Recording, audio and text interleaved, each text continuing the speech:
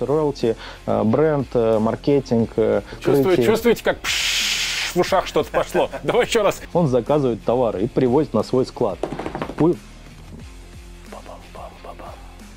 Это связка CRM и VMS-системы. Господи, я же просил тебя, давай по-человечески. Давайте еще вот все втроем в разные... В... Во всех странах есть Макдональдс, кроме одной страны. Корея. Россия. И снова здравствуйте! В эфире мистер Сергей. Помню, как в 2005 году я сидел в маленьком, но очень уютном магазине Skiff Music в Самаре. Там было буквально 8 квадратных метров, которые были напичканы разного рода инструментами и приколюхами. И вот сейчас, в 23 году, я сижу в одном из магазинов Skiff Music, который находится в Санкт-Петербурге, и передо мной сидит батюшка Борис Колесников. Привет, Борис. Здорово. Очень рад, что ты к нам зашел сегодня. Расскажи мне, что представляет из себя Skiff Music на данный момент? Слушай, ну ты прав, да, с 2005 года уже 18 плюс лет Skiff Music развивается, и сегодня у нас 22 магазина в 22 городах страны. И если говорить вот совсем обширно, то мы вторая по количеству магазинов сеть в России.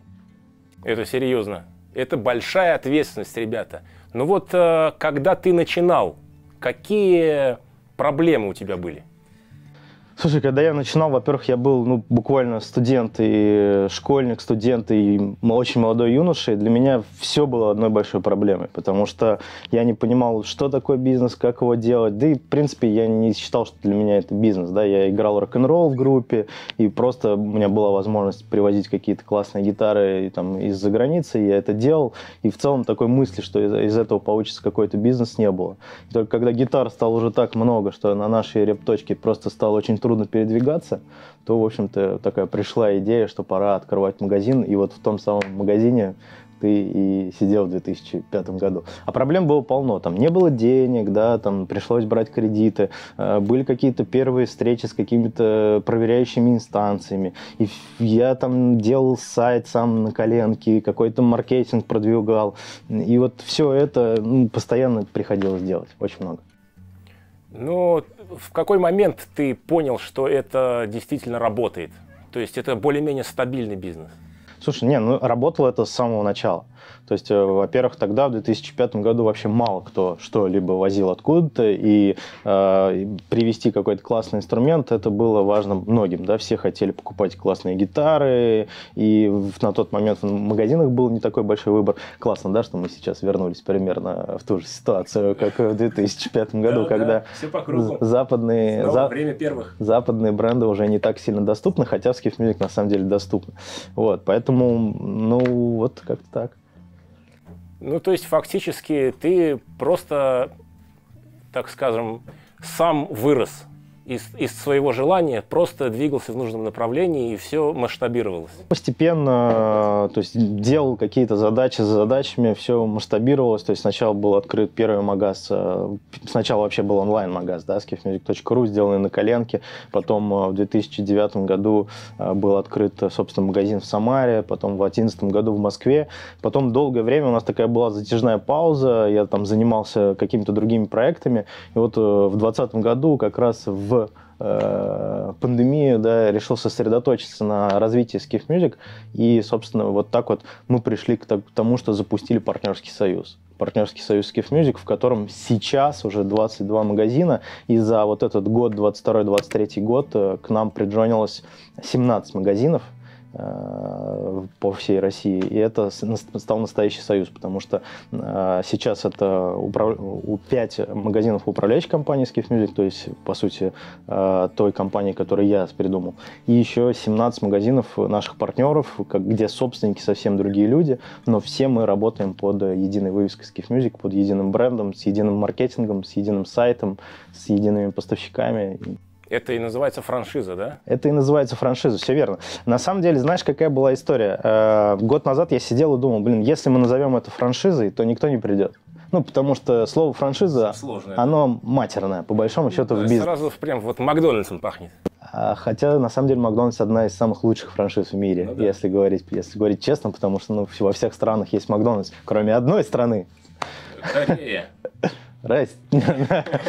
вот. И, э, соответственно, да, все это называется франшизой. У меня было такое подозрение, что называть это франшизой нельзя, э, поэтому мы придумали партнерский союз. В целом э, отличий никаких. Есть абсолютно такие же условия, как у любой франшизы, паушальный взнос, роялти, бренд, маркетинг, помощь в развитии. Чувствуете, чувствуете, как в ушах что-то пошло. Давай еще раз, только простыми словами. Вот смотри, я живу в городе Новосергиевск. Отлично. И у меня в первую очередь вопрос возникает, как мне определить, что городу Новосергиевск нужен такой магазин, что есть спрос?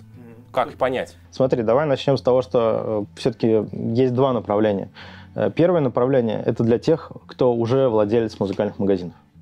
И вот, собственно, таких много. Да, в России более полутора тысяч музыкальных магазинов, из них 95% э, это не сетевые магазины, и в том числе в каком-то условном городе Новосергиевск, скорее всего, есть какой-то э, локальный магазин, который, может, там лет уже 30 работает. Вот, соответственно, наше предложение, оно и для тех, у кого уже есть музыкальные магазины, и для тех, у кого пока вообще нет никакого бизнеса. Вот по-простому. То есть, если мы находимся в этом самом Новосергиевске, у нас есть магазин, ну, условный магазин музыкальные инструменты, мы понимаем, что нам тяжело, мы не можем там развиваться, у нас нет денег, чтобы сделать классный сайт, у нас там маленькие закупки, у нас самые непривлекательные цены и так далее, то мы приходим в Skiff Music и говорим, слушайте, я хочу быть с вами, да, и по сути этот магазин в этом городе, он присоединяется к сети Skiff Music и становится частью ее.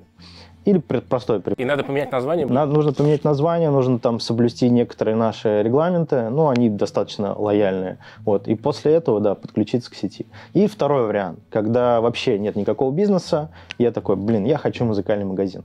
Можно к нам прийти, по сути, это уже называется классической франшизой, да, когда мы помогаем там подобрать помещение, сделать дизайн-проект, вообще, в принципе, да, согласовать, а есть ли смысл в этом городе открывать музыкальный магазин. И в этом плане мы тоже помогаем, потому что человек может может думать, что вот в этом городе, где живет 3,5 тысячи человек, нужен обязательно музыкальный магазин двухэтажный, да, на 7 тысяч квадратных метров.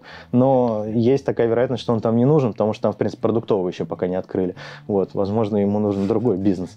Вот, поэтому мы помогаем вообще определиться, нужен ли тут магазин, есть ли здесь спрос, смотрим там всевозможные э, там тепловые карты, где его лучше поставить, смотрим, в принципе, по нашей, по нашей базе, у нас же, мы 18 лет работаем, мы знаем, откуда у нас есть э, заказы, они есть со всей территории, да. всей страны, мы видим, да, ну, если условно отсюда не было за 18 лет ни одного заказа, ну, может, там и жизни нет. Ну да, вряд ли будет. Ну и как ты думаешь, сколько мне нужно денег? если у меня ничего нет?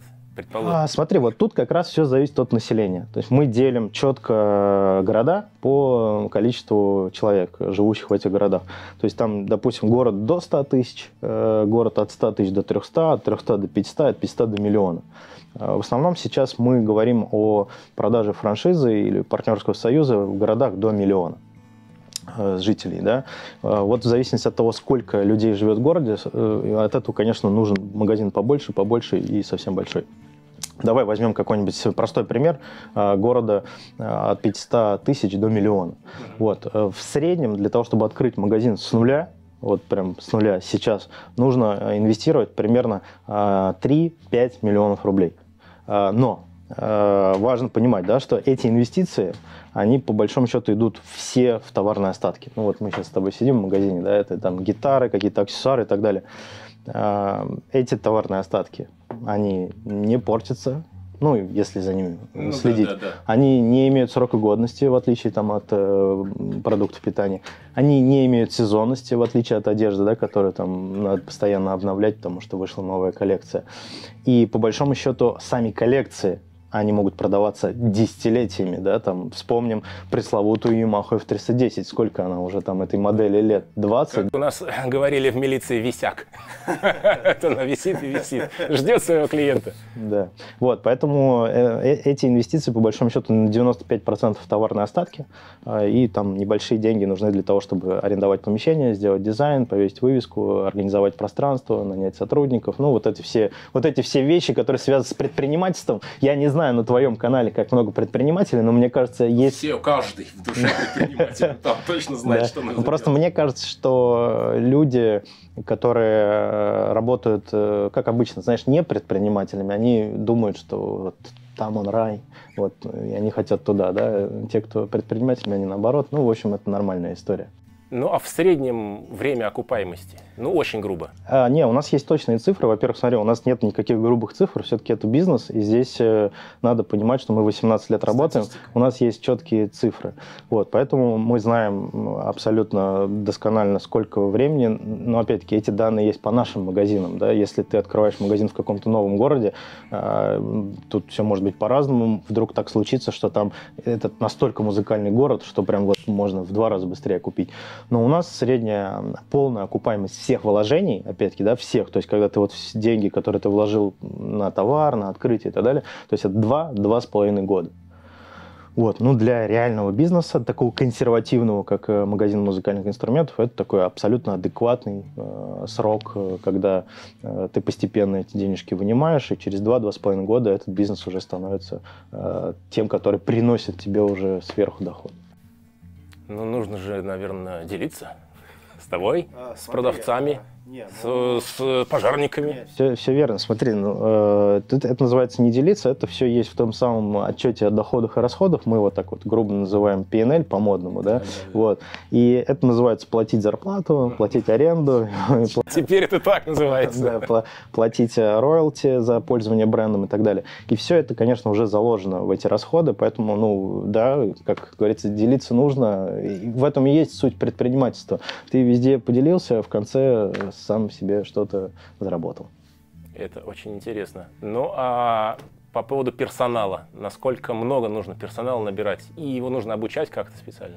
А, смотри, э, у нас магазин в среднем где-то э, рассчитан на 4-5 э, менеджеров. Да? Это управляющие, это ребята, которые эксперты, менеджеры по продажам и обязательно гитарный мастер да, на, каждый, на каждый наш магазин.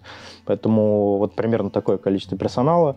Управляющая компания помогает с поиском людей, да, то есть мы с помощью своего HR-отдела выкладываем вакансии, помогаем найти людей, помогаем обучить людей, то есть у нас вообще есть огромная база знаний, по которой мы э, обучаем и нашего нового партнера, который э, стал владельцем магазина, и, конечно же, его сотрудников, ровно так же мы обучаем своих ребят уже многие годы, да, и теми же самыми знаниями нагружаем наших партнеров. То есть можно сказать, что основную роль несет сила бренда. Так будем говорить. То есть, а. если я открываю магазин Skiff Music, все говорят, да, это тот самый магазин, которому 20 лет, и все было хорошо, и мы можем в нем что-то купить. Смотри, э, конечно, бренд — это очень важная история, на самом деле, потому что э, есть такое, как, вот, как проверить, да, насколько важен бренд, это очень легко. Есть такое понятие, как брендовые запросы. И э, есть Яндекс Вордстат, да, и туда можно вбить любой запрос и посмотреть, сколько раз его смотрят. Так вот, э, брендовый запрос Skiff Music, он э, с каждым э, годом количество этого запроса растет. То есть люди, узнавая о нас через наш маркетинг, да, то есть там видя в YouTube ролики, натыкаясь в социальных сетях на какие-то наши предложения, они потом просто идут в условно Яндекс или Google, просто вбивают Skiff Music для того, чтобы прям к нам прийти и посмотреть там что-то на сайте или что-то в магазинах. И эта узнаваемость растет, и Поэтому да, э, это именно так и работает, что, о, прикольно, я хочу там сходить в Skiff Music, и некоторые даже пишут там Skiff Music Екатеринбург, то есть проверяют. А если в Екатеринбурге, вот нас пока еще нет в Екатеринбурге, скоро откроется магазин, но некоторые уже пишут Skiff Music Екатеринбург, и мы видим, сколько у нас таких запросов идет из конкретного города. Вот. Поэтому бренд это очень важно. Ну, не зря мы строим уже его 18 лет и столько потратили сил, энергии, ну, одних только роликов, да, на... Сколько уж на твоем YouTube-канале наших роликов, а на нашем YouTube-канале Skiff Music, да, да, там сейчас 2300 роликов, которые мы сняли за вот 12 лет работы. Поэтому бренд это супер важно, но не менее важна и вторая история. Это э, наш очень сильный сайт, да, skiffmusic.ru, на, сегодня, на сегодняшний момент это третий сайт по трафику в индустрии. То есть мы пока еще не догнали двух наших основных конкурентов, но в целом во всей индустрии да, мы на третьем месте по трафику. И третья история – это Skiff Music ERP.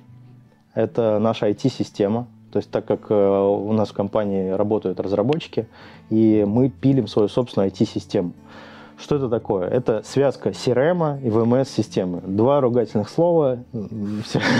Господи, я же просил тебя, давай по-человечески.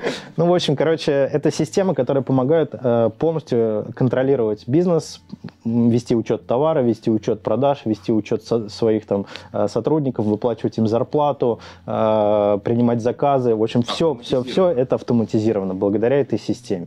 Здорово. А сайт он как бы один на всех. То есть, если я открываю магазин, я к сайту подключаюсь. Мне не нужно свой сайт. Все верно. Смотри, если ты открываешь магазин, сайт skiffmusic.ru по большому счету становится твоим.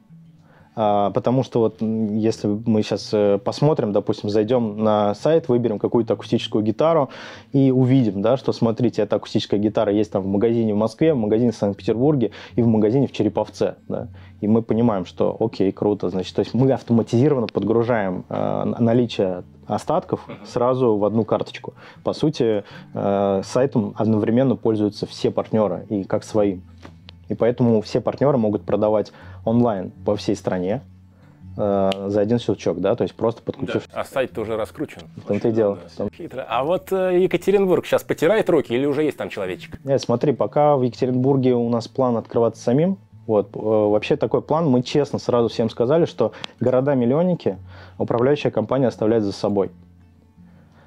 У нас есть только предложение, что мы можем дать не уникальный контракт э, на город-миллионник. Э, то есть что это такое? Допустим, вот если берем Магнитогорск, наш партнер, Череповец, э, или там города Московской области, там Королев, там, не знаю, Сергеев Посад, там мы передали право пользования брендом Skiff Music на весь город. И больше никто не может открыть там Skiff Music. Да? То есть это просто, ну вот весь город, он занят нашим партнером, и только он может открывать там магазин. Второй, третий и так далее. Если говорить про миллионники, то мы такое уникальное право никому не передаем. Если кто-то захочет открыть миллионник, то он должен сразу понимать, что он откроет магазин, управляющая компания там тоже может быть откроет магазин, потому что миллионники э, города большие, и там в целом, в принципе, всегда много магазинов. Вообще у нас есть такая статистика, что в России среднестатистически один магазин на 100 тысяч населения ну, сейчас даже на самом деле на меньшую цифру, но вот так вот в среднем по стране один магазин на 100 тысяч населения. Поэтому в крупных городах, где живет там полтора-два миллиона человек, то, соответственно, минимум там 20-25 магазинов мы всегда имеем. Серьезное дело. А вот подскажи по поводу инструментов. Они же везутся из-за границы, то есть есть какой-то импорт. Этим занимается каждый магазин самостоятельно или все центрально и потом разносится по магазинам? Окей. Okay. Смотри, значит, тут есть два э, пути. Э, первый путь – это наши общие дистрибуторы. Э, в России есть э, большие дистрибуторы, у которых есть поставки инструментов, и, по сути дела, у нас могут быть прямые контракты и у, нас управляющей компании, и у партнеров с дистрибуторами. Но когда партнер становится Skiff Music, да, у него есть галочка рядом, что он стал партнером Skiff Music, то он автоматически получает самые лучшие цены от дистрибутора. То есть ни один другой магазин самостоятельно такие цены получить практически не может. Ну, просто за счет того, что нас много, мы закупаемся больше, у нас самые сладкие цены. И второе, да, это то, что Skiff Music сам, сам э, импортирует, то здесь, э, конечно, у наших партнеров тоже самые сладкие условия. И, по сути дела, самое важное, что партнеры получают товары уникальные, которых практически ни у кого в рынке больше нет. Всплыли словечки, давай ликбез короткий. Чем дилер отличается от дистрибьютора? Да. Очень, очень, если по-человечески. Да, очень по-человечески. Э, э, в любом бизнесе есть простая линия, в любом торговом бизнесе есть простая линия. Производитель, это завод, да, там в Китае, во Вьетнаме, в России, неважно. Завод, где что-то делают. Там есть, э, туда приходит сырье, и из деревяшки получается гитара, да, там выпиливают, струны натянули, все, сделали вот на заводе.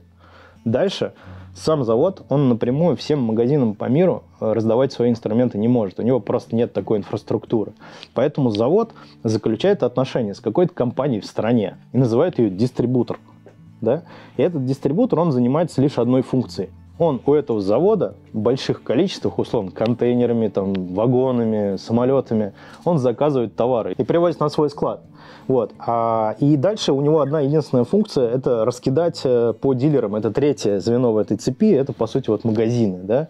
То есть производитель, дистрибутор, конечный магазин, и после магазина уже идет покупатель и потребитель. Ну и вот такая цепочка, она работает э, во все, в любом бизнесе, неважно, это музыкальные инструменты, а дистрибьютор есть в стране завода или в любой стране? Дистрибутор, он находится в стране э, той, которая, собственно... Нет, нет, нет. В стране, в, которую, в которой продается товар. А. То есть, если завод находится, например, в Китае, то для того, чтобы продавать э, товары в России, дистрибутор находится на территории России. А, и закупает большую партию, Все и верно. дальше уже по дилерам. Дальше уже по, по, по небольшим дилерам, да. И абсолютно идентичная схема работает э, в любом бизнесе. Берем э, продукт... Даже в теневом. Берем продукты питания, там все то же самое. То есть это единая схема. А, люди пишут, страдают, жалуются, что нету денег. Они создают впечатление, что никто никогда ничего не покупает. Они только страдают. А вот как на самом деле обстоит дело? А, знаешь, верить э, комментаторам э, в YouTube, привет комментаторам в YouTube, да, на самом деле, конечно, дела обстоят совсем не так, как у комментаторов в YouTube. Все покупают, иначе бы индустрия в целом, наверное, уже давно умерла бы, и магазинов было в России не полторы тысячи, а, а полтора. Вот, поэтому огромное количество людей, которые идут и встают на путь истины и начинают обучение, да, то есть это прекрасные дети, которые, собственно, являются э, базисом всего, да, это музыкальные школы, классическое музыкальное образование, второй такой прототип клиента это просто люди, которые вот, ну, хотят а, для души поиграть у себя дома, да, таких тоже много. А, поэтому, наверное, зачастую они просто не сидят в YouTube на каких-то профильных каналах. Эти люди, они просто приходят в магазины, покупают для себя инструменты по душе, выбирают их с помощью наших гитарных экспертов и, собственно, кайфуют дома. Вот, поэтому деньги у людей есть, э, в этом бизнесе что что хорошо, да, что он достаточно стабильный, э, он годами работает одинаково. Здесь нету никаких взлетов, да, то есть это надо, надо четко понимать, что это классический ритейл, он такой э, простой и понятный. Здесь не может быть такого, что мы вот сейчас вот здесь находимся, потом вот щелкнули, и мы там иксанули x100, да, здесь такого не будет. Это такой понятный классический бизнес, в котором мы потихонечку, постепенно можем развиваться, увеличивать наши продажи, увеличивать нашу прибыль постепенно. Зато стабильно. Зато стабильно. Вот э, ушли благодаря разным обстоятельствам магической силы бренды иностранные, западные у нас. Стали появляться китайские бренды. Вот э, спрашиваю тебя как э, человек, который загрузил большую часть магазина китайскими товарами. Это ну, хорошо или это мы страдаем, это болезнь? Смотри, у нас, во-первых, э, в чем кайф, да, у нас есть винтажный отдел, да, в отличие от э, всех остальных крупных сетей. И То есть был инструменты? Был инструменты, хорошие, да. любые? Да, да, да. Был инструменты хорошие, любые, кайфовые. Там и японцы, там и американцы, и все что угодно. Все это как было у нас всю нашу жизнь. Как помнишь ты, да, еще с тех самых времен, когда, э, собственно, были только БУ инструменты. А сейчас их тоже много, да. И, и в этом кайф, что мы продолжаем ими заниматься плотно, и во всех наших магазинах э, есть винтаж. Это, это, это номер один ответ. Ответ, ответ номер два. У нас есть э, возможность прямых поставок для наших клиентов из э, Америки, из Европы и из Арабских Эмиратов. Да, да там там э, на текущий момент такие хорошие цены, ну, по понятным причинам, по понятным причинам, где находится рубль, да, сейчас, может быть, отпустит и цены тоже немножко отпустят.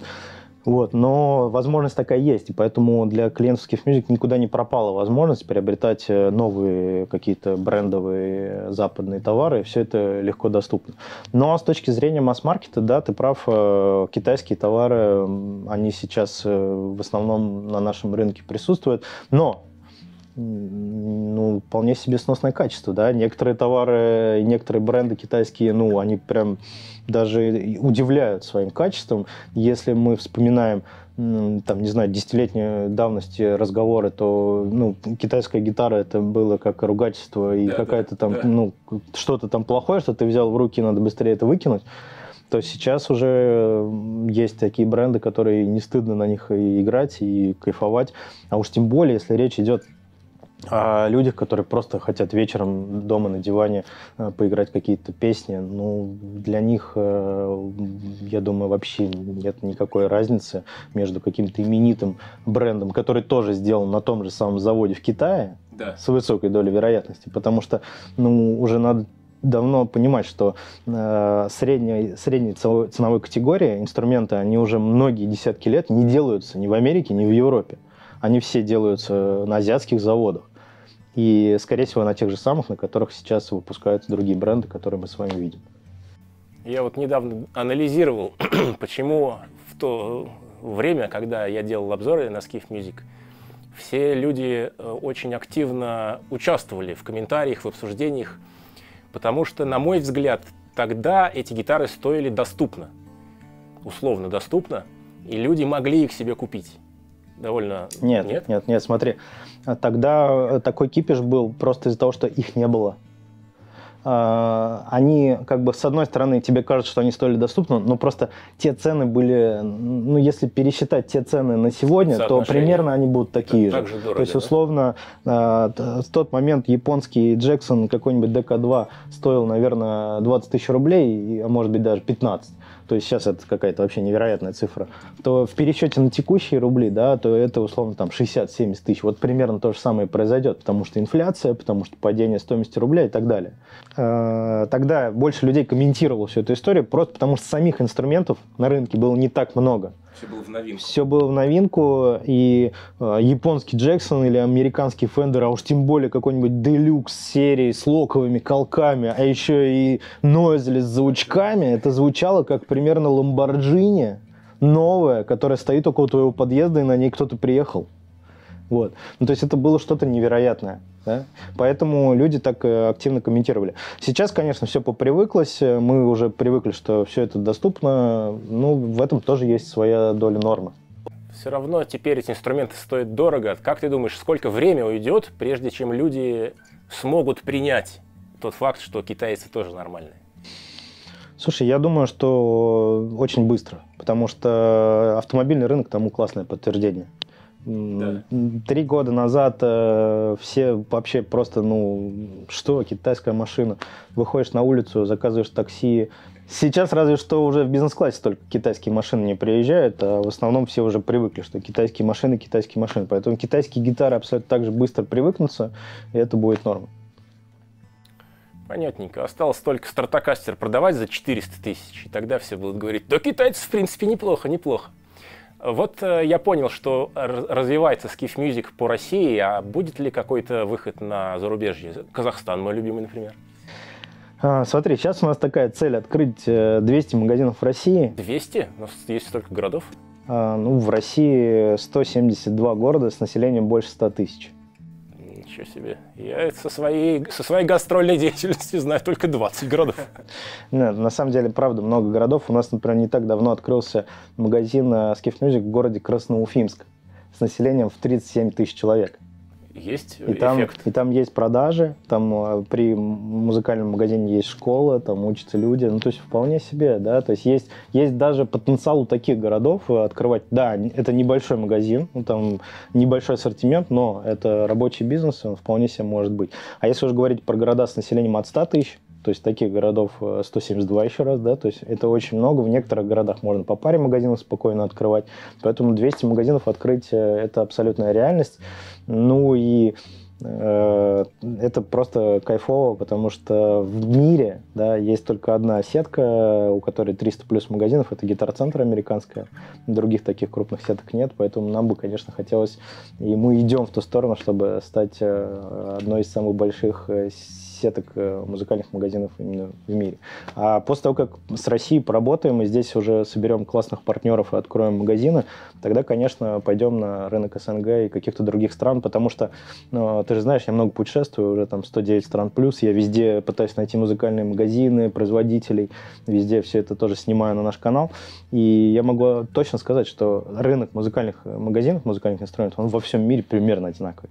То есть э, каких-то супер исключений нет. Да, где-то есть локальные исключения с точки зрения музыкальных инструментов. Там на Востоке больше вот таких вот продают, там на Западе больше других. А в целом это абсолютно стандартная история. Магазин, товары, там гитары, клавиши, аксессуары. Абсолютно одинаковый ритейл, поэтому э, этот бизнес можно, он, так как он консервативный во всем мире, Например, в Индии я был в магазине, который работает 102 года уже, да, там один под одной вывеской, уже 102 года, он уже в третьем или в четвертом поколении сменились э, владельцы, именно вот э, родственники, там, отец, сыну и так далее, и он работает уже 102 года. И в мире есть очень много таких э, примеров музыкальных магазинов, которые очень консервативно, давно работают, поэтому можно развиваться в этом направлении. Феерия, друзья. Так что давайте я резюмирую по-своему, по-крестьянски. Значит, есть возможность, есть возможность э, ворваться на все готовое, где тебя научат. Вот я говорю, хочу торговать гитарами. И что я? Я пойду сниму какой-нибудь подвал, а скорее всего буду у себя в хате это делать. Накуплю каких-нибудь гитар в три дорого и на Авито их выложу. И никто у меня ничего не купит. Почему? Потому что все это не так просто, как записать платиновый альбом. Но для этого есть люди, у которых есть опыт, и они вам помогут, скажут, вам нужно взять вот это, взять вот то. Кстати, у вас есть помощь с бухгалтерией? Конечно. Нет, смотри. Это пол... каждый сам делает за себя? А, у нас а, каждый сам делает бухгалтерию, но если необходимо, то мы берем как бы на аутсорс э, Чтобы не нанимать партнеров. бухгалтера. Все верно, да, да. Все шито-крыто. Вы просто следуете инструкциям и начинаете зарабатывать на своих любимых музыкальных инструментах. Это ли не прекрасно? Что еще можешь пожелать людям, которые планируют вложить деньги? Слушай, я на самом деле хочу пожелать людям только одного. Открывайте музыкальный магазин Skiff Music в своем городе. Э, и это будет прекрасный бизнес э, на многие-многие годы, на котором вы будете зарабатывать э, деньги и развивать индустрию в нашей стране, а возможно и в соседних странах тоже. Собственно, это мы и делаем. Развиваем индустрию уже 18 лет. Точно. Вот сейчас в каждом магазине Skiff Music есть гитарный мастер, а в скором времени будет еще и гитарный учитель, я уверен или самоучитель. Что-нибудь в этом роде. В общем, это просто потрясающе. Я очень рад, что знаком с Борисом, рад, что сижу в этом магазине Skiff Music. И я желаю добиться 200-300, мы сделаем 500 городов в следующую пятилетку. Поэтому обязательно переходите по ссылке в комментариях, узнавайте, что к чему. Готовьте ваши гроши, ваши стальные нервы и действуем, ребята. Если не мы, то кто? Уж точно не китайцы. Прямо сейчас. С вами был мистер Сергей.